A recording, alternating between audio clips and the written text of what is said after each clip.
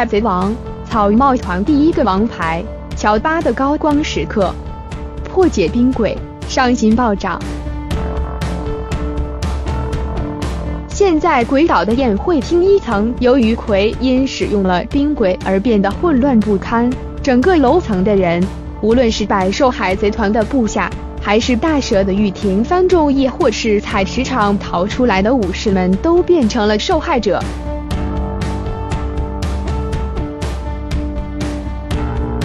可谓是真正的人间地狱。奎因本人倒是悠哉的在二楼看住楼下这群人。面对这种局面，身处其中的索隆等人要怎么办呢？还好乔巴也在，凭借住敏锐的直觉，乔巴断定奎因的手中有抗体，也就是解毒剂。只要抗体拿到手，乔巴立刻就能复制出大量的解药。奎因似乎也不准备将抗体私藏起来。为了让游戏变得更加有趣，奎因直接把抗体扔给了身处一楼的阿普，随即所有人被动加入了争夺抗体的游戏中。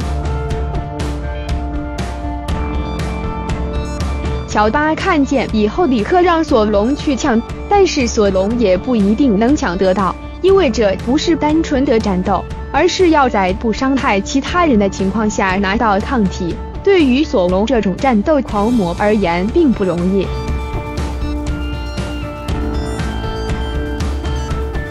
所以最大的希望还是在乔巴的身上，他有作为医生的良知。既然出现了大量的患者，那么他就有义务为他们治疗。因此，乔巴也要展示出自己的力量了。为了尽快的拿到抗体并制作出解药。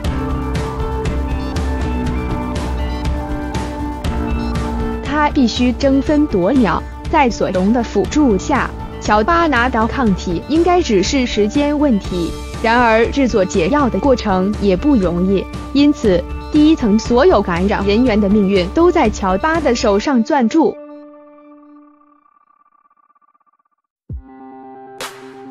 我们都相信乔巴可以做到拯救所有人，因为他身边除了索隆以外，还有罗宾。罗宾的能力似乎就是为分发解药而准备的，因此乔巴必然可以研制出解药。如果乔巴成功了，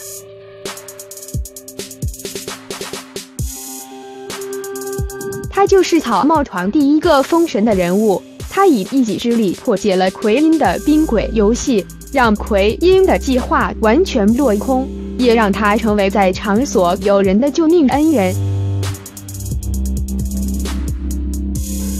这一次，乔巴的表现可是被所有人看在眼里，他的事迹也不会再被雪藏下去。因此，和之国篇结束以后，